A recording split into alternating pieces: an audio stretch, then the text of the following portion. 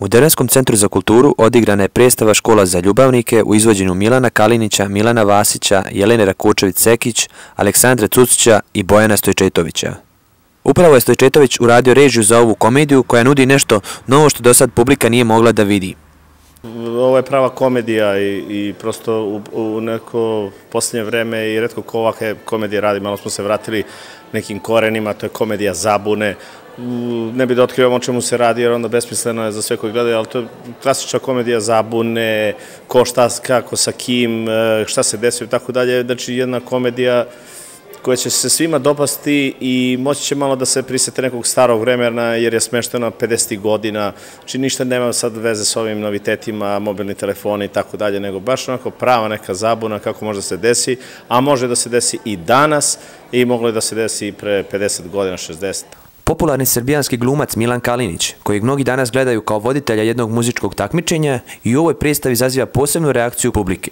Jedan pravi vodvilj, dobra komedija ovaj, i trenutno hit koji, se, koji igramo svugde i po prostorima bivše Jugoslavije, a i Boga mi Ivan. Tako da verujem da će i dervenska publika da uživa večeras. Predstava je obiležila i mali jubilej, a to je brojka od 50 igranja koja se iz dana u dan povećava. Sad evo kraje sezone, ovde igramo u Derventi pa još u dva grada u Republici Srpskoj i to će biti kraj za ovu sezonu, evo već i jun. Ovaj, možda ćemo nešto preko leta, neki festivale, ali to ćemo vidjeti, ali u, u principu pozorišna sezona se polako završava. Potreda dobe saradnje Kalinića i Vasića pokazala se u ovoj predstavi jer ovaj tandem gdje god da bio publiku dovodi do smijeha. Pa kažu da ono dobitnu kombinaciju ne treba menjati a mi jesmo dobitna kombinacija. Mislim, žao meni što i Andrej nije sa nama, ali samo se poklopilo tako da i on snimao seriju, radi neku monodramu i onda smo se mi ovaj, našli da, da, da napravimo opet nešto, ovaj, neku dobru komediju. Napravili smo jako ozbiljnu komediju, kvalitetnu, jako koja može se igra u bilo kom pozorištu, bilo gde. I evo gde god gostujemo, a gostujemo često, ovaj, bukvalno sjajno prolazi kod publike i znaš, prosto nismo omašili nikad.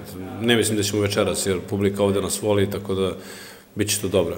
Ovaj sjajni glumac najavio da će i dalje nastaviti da igraju ovu predstavu, jer smatra da je ovo nešto za duge staze. Nastavljamo sigurno, zato što ovaj, možda će nešto biti preko leta, nešto u Beogradu ima neki tako kao festival koji od 5-6 dana, 5-6 puta da igramo nešto preko leta.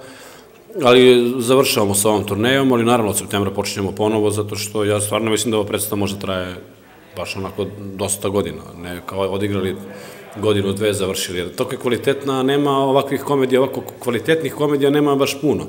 I mislim da bi volio da ovo traji 20 godina protika. Nezobilazna tema sa Milanom Vasićem bila i zona Zamfirova drugi dio, gdje je on dobio glavnu ulogu uz Brankicu Sebastijanović. Opravdano je to da publika uvek, koji god da je film da se radi drugi deo, uvek je u fazonu zašto raditi drugi deo, kako je prvi takav. Ja, ja ne mislim tako, ove, jer smo i napravili jednu baš onako dobru priču. Mislim da je glupo raditi remake-ove, tako neke starih filmova, Znaš, recimo sad kao ko to tamo peva i sad ti radiš remake, kao radiš, to recimo ne, ne, ne kapiram zato što nije to predstava, to možda vidiš. A mi smo da napravili jako toplu, emotivnu, ljubavnu priču, drugi deo nastavak i znao sam da će publika voliti da, da vidi šta se desilo kasnije sa, sa Manetom i Zonom.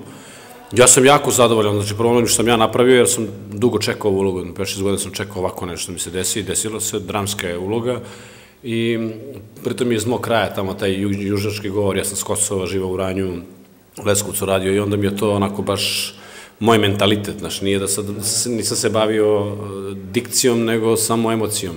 I jako sam zadovoljan kako to ispalo, oborili smo te neke rekorde za, ove, za ovih par godina od svih filmova koji su sad izašli, ovaj, i Kusturice, Reza kogod izašao, Laza Kostić, sve to. Imamo oko 250, možda i više hiljada ljudi. Tako da je dobro prošlo, sad vidite, to kad dokrene sad i na televiziji, pa će biti još više i više, tako da ja sam, ja sam baš onako i zadovoljan i ispunjen što toga tiče. Organizator ove odlične komedije bili su javna ustanova Centar za kulturu Derventa i Banja Lučka Kvine Strada. Pa, ovo je večeras, e, će Derventa imati priliku da uživo u jednom preljepoj predstavi, jednoj hit komediji koja trenutno je jedna od najgledanijih predstava u regionu Škola za ljubavnike, u kojoj glavne uloge igraju Milan Vasić, Milan Kalinić, i ostatak ekipe koji je također isto dobar. Ovaj, mi smo večeras dakle, ovdje u Dervinti sa tom predstavom, sutra smo već u Prnjavoru, preko sutra u Bijeljini i igrat će se ta predstava još dugo širom ovog regiona.